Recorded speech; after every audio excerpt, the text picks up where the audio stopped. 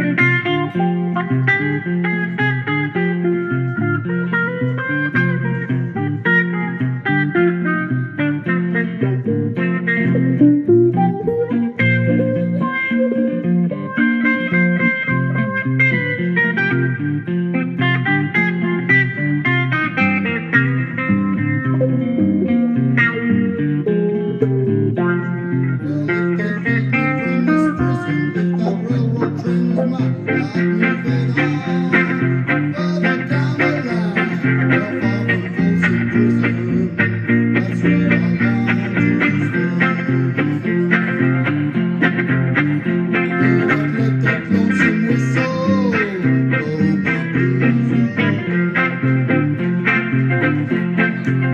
you.